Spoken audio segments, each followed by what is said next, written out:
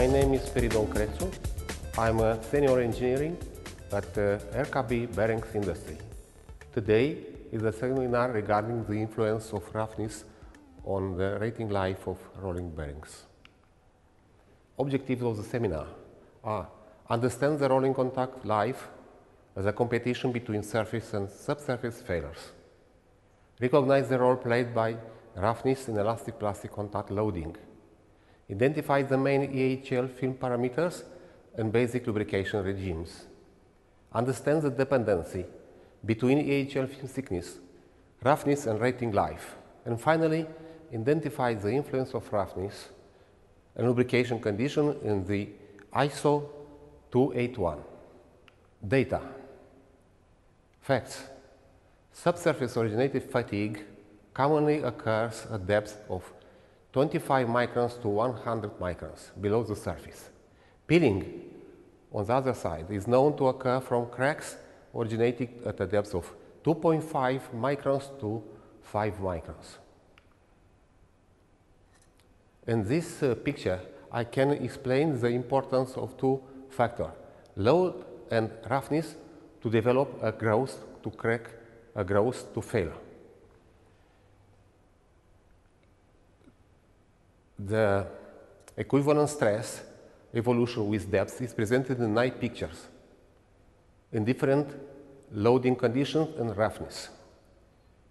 For example, if the roughness is small and load is small, is not possibility to equivalent stress to overcome the red line, where the red line means the limit value of the equivalent stress which when the fatigue will start.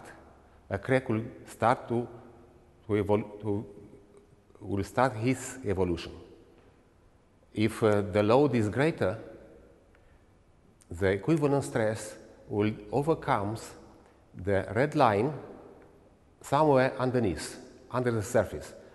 And uh, there is a possibility to start a crack, to evolve, evolve to the surface. The, the same phenomena is possible when the load are higher. But if the roughness is mild, we have the possibilities to obtain a crack from the surface if the high load is involved. Also, in the same condition, we have the possibility to obtain a crack starting from the under the surface.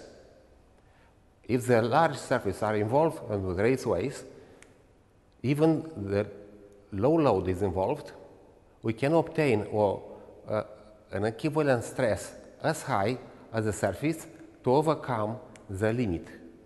And in this situation, we will obtain only a surface failure. A larger load, again, will obtain a, a competition between the surface failures and the underneath failures. What is small, mild, or large roughness? We have to compare roughness value with something else. This something else is the film thickness because these contacts are operating in lubrication conditions. Generally, we can discuss about three different lubrication regimes. Fluid film lubrication, this one, when the two surfaces are completely separated by a film sufficiently uh, thick to separate surfaces, no interaction between asperities are possible. The second regime is mixed regime. Both the load carrying oil film and boundary layer play a major role.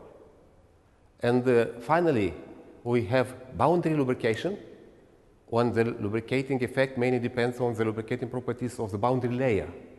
There is no effective separation between the surfaces. That, then we have to compare our roughness with this value, this thickness.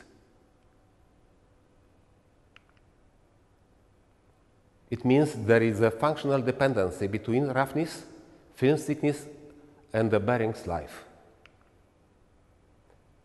First, we will present a simulation study on dry contact. pointed out the importance of the roughness.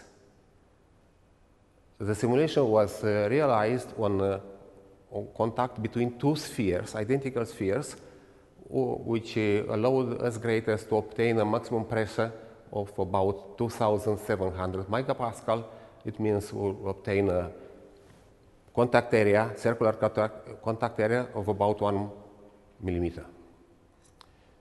On the slide is presented the, with the red line the smooth surfaces and with the blue line roughness, real surface.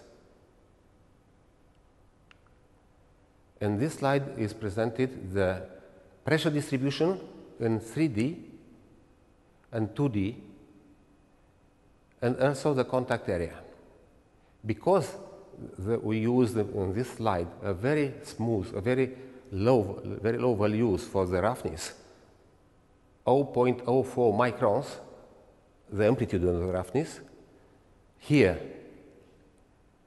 is uh, very close, there is a very close pressure to the theoretical value given by Hertz formula, equation, Hertz equation. I have to mention again that on this slide there are pressure, no roughness. For smooth condition and for rough condition with blue is a good validation of the simulation because the result were obtained with different tools. And also the contact area is exactly the same like in Hertz conditions. If we increase the value of the amplitude of roughness, the pressure in 2D is maintaining nearby to the theoretical value, but there are some overcomes. But if we increase again the amplitude of the roughness, the situation will be changed. In this case, we have an amplitude of about 0.4 microns, and the, the pressure is going up up to elastic plastic limit.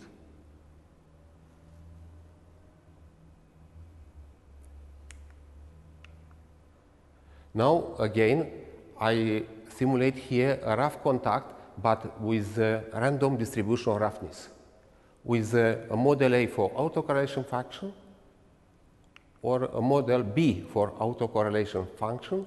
The difference is there are more peaks and the same length than previous one. We have the same amplitude, the same sigma, but different, different modelization, different lengths, peak, number of peaks of the same length. The 3D roughness with zero mean has been superimposed on the surface of one sphere only, on the left, on the right. The made surface, this one, being maintained smooth. Here is the smooth with red, and with blue is a rough surface. The pressure distribution, theoretical distribution of pressure, Hertz formula, and obtained with uh, numerical simulation. Again, the pressure is around theoretical value, but there are some overcomes near to the elastic plastic limit.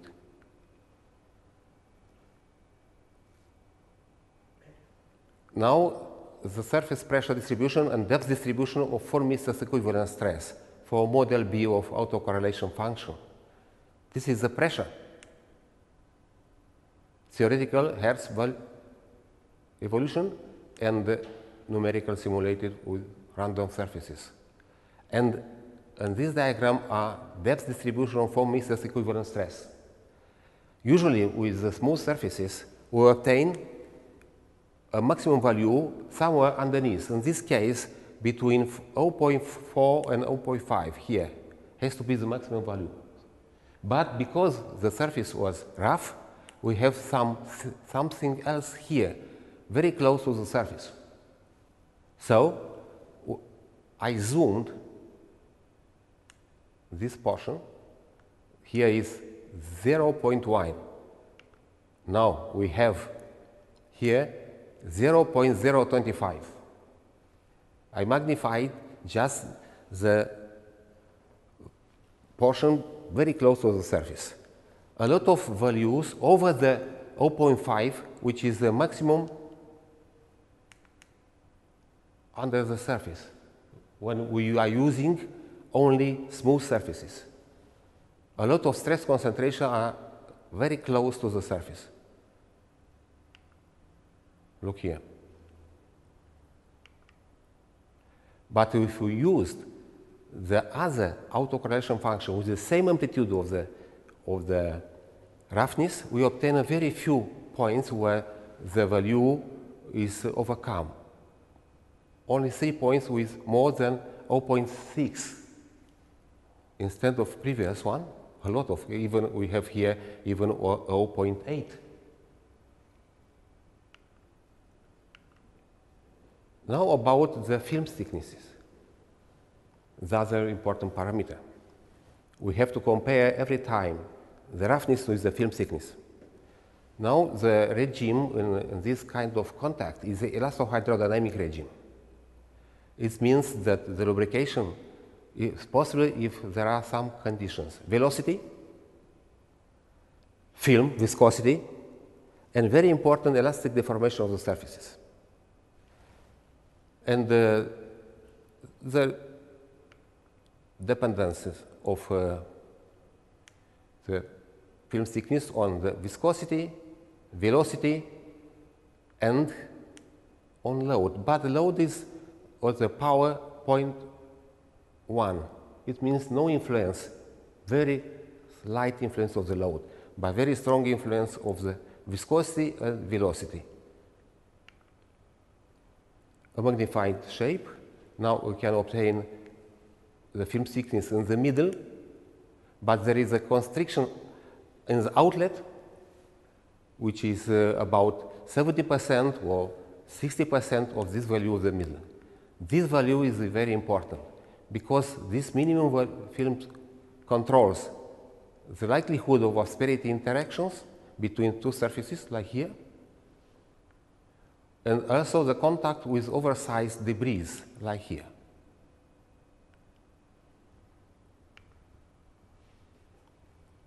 The EHL film thickness is often found to be in the region of very important 0.2 to 0.4 microns.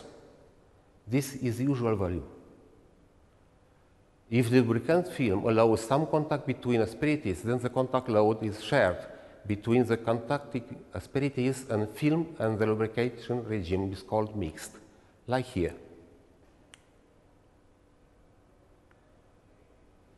And uh, the load is supported partially by the pressure in the film and partially on the asperities. Here is the pressure, here again.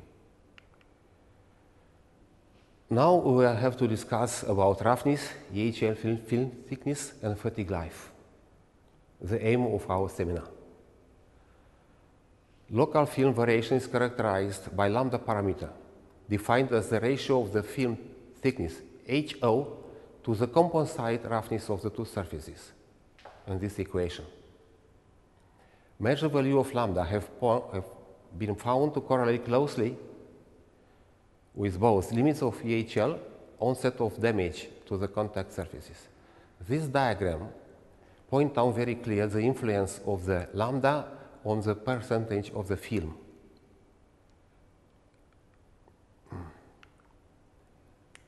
If lambda is sufficiently high, higher than 4, we have fully fluided lubrication, full film. The surfaces are separated, even if they are rough surfaces. But if lambda is less than 1, less than 1, region of lubrication related surface distress will, will have surface initiated failures. Usual zone, usual area of lambda is here, operating region for most industrial applications, between 1 and 2.5. If lambda is greater than 4, the fatigue life can be expected to exceed standard L10, estimated by at least by 100%. It means two times. If lambda is less than 1, the rolling bearing is working the mixed lubrication and will obtain and uh, will not attain calculated L10 estimates because of the surface distress that speeds up the fatigue failure process. The mean curve is frequently used to estimate the effect of lubrication on rolling bearing fatigue life, this one.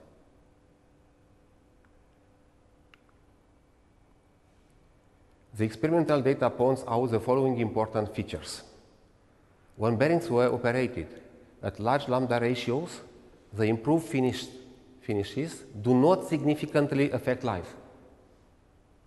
But if at, at low lambda ratios, the enhanced finished bearings have greater fatigue lives than the standard finished bearings. These are data obtained from experiments.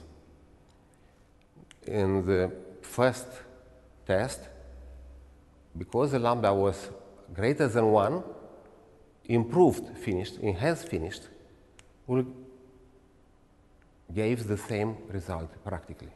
No improvements.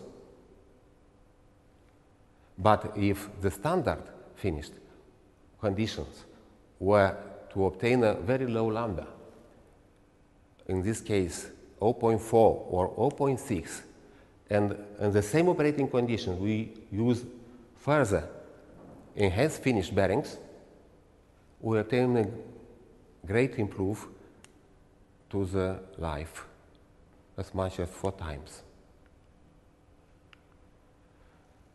Now, a case study regarding the evolution of the roughness values. What, what, how, how, large has to be the roughness, or how small has to be the roughness in the rolling bearings? We choose the general condition regarding EHL regime with minimum film thickness, HO, of uh, 0.3 microns. The roughness of the rolling element we choose to be considered to be finer than that of the contacting raceway, two-thirds. In these conditions, the relation between the roughness and the lambda is finally like this one. And in this uh, table, we calculate the necessary value of RA, average arithmetic roughness, for different values of lambda. And if we intend to obtain a fully fluid lubrication with no asperity in contact, it means lambda of 4, the roughness has to be 0.04 for the raceway. But uh, if uh, we choose to have a lambda between 2 and 3, we can use Uh, roughness between 0.1 and 0.06, like usually in rolling bearings. For lambda 1, it means we have a roughness like 0.2. It's not very good. Roughness and lubrication condition ISO 281. In this international standard, for the bearing raceway surfaces machined with good manufacturing quality, the international standard ISO 281 considers the lubrication condition by the viscosity ratio K, defined as the ratio of the actual kinematic viscosity nu to the reference kinematic viscosity nu1, both value at operating temperature. In fact, instead of lambda, an ISO is considered K, but K is chosen depending on the velocity or the rotational speed of the shaft. It means depending on the lubrication condition. It is mentioned that sometimes a more detailed estimation of K value is needed, e.g. for especially machined raceway surface finish, the film parameter can be applied. Again, you have to compute lambda, and with lambda you have to obtain the value of K to use further in the formula. Conclusions. Surface originated fatigue commonly occurs at depths of 25 to 100 microns below the surface. Peeling is known to occur from cracks originated at depths of 2.5 to 5 microns on the surface. It means the roughness acts as stress concentration sites and speed up the surface originated failures. The minimum film thickness appears a very important parameter since it controls the likelihood of asperity interaction between the two surfaces or contact with oversized debris. The EHL film thickness is often found to be in the range of 0.2 to 0.4 microns, which is similar to the surface roughness of ground surfaces. Local variation as a function of local surface roughness, usually characterized by lambda parameter, defined as the ratio of the minimum film thickness HO to the composite roughness of two surfaces in contact. Again, if lambda is greater than 4, fatigue life can be expected to exceed standard L10 estimates by at least 100%. If lambda is less than 1, the rolling bearing is working in the mixed lubrication regime and will not attain a calculated L10 estimates. Thank you very much for your attention.